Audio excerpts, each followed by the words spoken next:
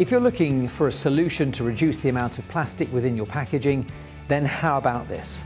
A fully enclosed box, flexo printed on the outside directly onto the corrugated cardboard with your brand enhancing imagery. It not only celebrates your product, but it transports it safely and securely as well. But inside is where the real magic happens.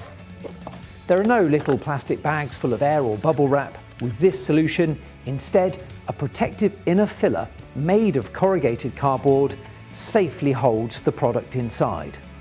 The jars of chutneys and pickles, in this example, sit within cutouts that are part of the protective inner filler themselves, making it quick and easy to pack and deliver to the customer.